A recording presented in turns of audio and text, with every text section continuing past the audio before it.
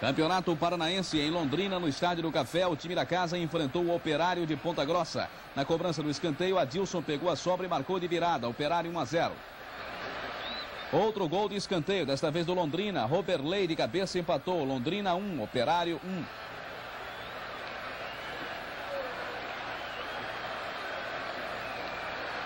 Toyó chutou forte e Neneca não conseguiu segurar. O centroavante Adilson fez mais um e fechou o placar. Final Operário de Ponta Grossa 2, Londrina 1.